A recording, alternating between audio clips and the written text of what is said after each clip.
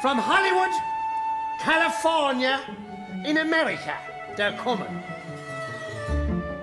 And why are they coming? I'll tell you why they're coming.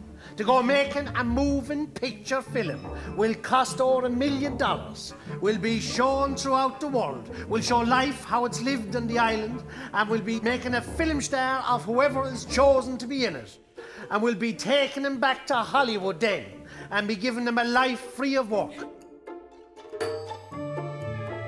That rules out all in this household, I know it goes without saying, unless it's cripples or ingrates they're looking for. Don't call me Cripple Billy, you. For why? Isn't your name Billy and aren't you a cripple? Oh, Poor Billy'll never be getting kissed unless it was be a blind girl.